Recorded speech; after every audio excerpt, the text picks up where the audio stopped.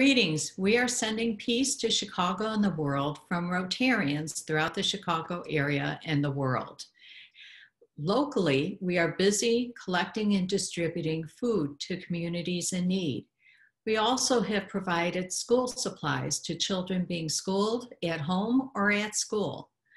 We are in the process of collecting 500 new and gently used winter coats for our homeless veterans. And we have already distributed thousands of pieces of personal protective equipment known as PPE to our nursing homes in need. Distribute over 220 iPads to nursing homes and safety net hospitals so that the patients and residents can talk and communicate with their families and loved ones.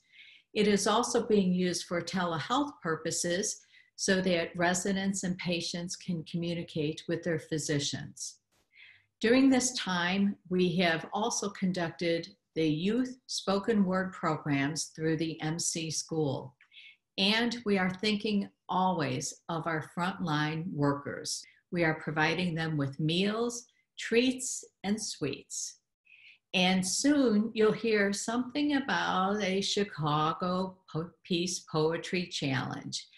If you attend the Chicago Peace Day virtual meeting that's being held on September 21st from 11:30 a.m. to 1 p.m., we will be announcing the Peace Poetry Challenge for the Chicago area. But just know that Rotarians are here, we are active, we are engaged, and we are in this together. Thank you. Peace and health.